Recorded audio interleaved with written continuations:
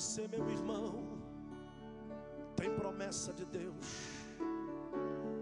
não saia do lugar, fica firme na fé, esperando o momento, quem sabe não é hoje, da vitória chegar, pois quem prometeu não, não te esqueceu.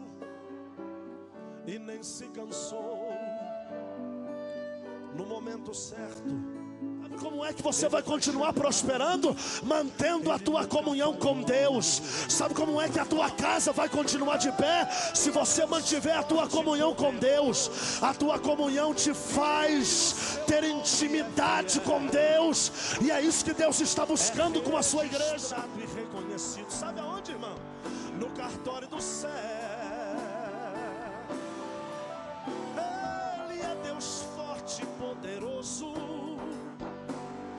A maior profecia que existe ainda é a palavra de Deus sendo pregada, sendo confrontada a vida de muitas pessoas, porque você era uma coisa lá fora, mas o que te trouxe para.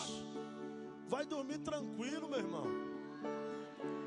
Ele cumprirá Deus está dizendo: quem obedece a minha palavra, conforme você vai obedecendo, as bênçãos vão te alcançando, e o milagre de Deus nunca faltará. De ficar mais velho e se converter.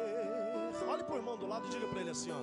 E quem tem promessas, antes que se cumpra, o que você está fazendo lá no teu emprego, Deus aprova. O que você está vivendo lá na tua, no teu colégio, Deus aprova. A vida que você leva lá na faculdade, Deus aprova. A vida que você tem com a tua família dentro de casa, Deus aprova. Porque os olhos do Senhor são como chamas de fogo, eles estão em todos os lugares. Estar aqui dentro ou pode estar lá fora, onde quer que você esteja, os olhos do Senhor estão te acompanhando. Não adianta viver uma vida dupla, crente aqui dentro e ímpio lá fora. Transformar uma aparente derrota numa visível vitória.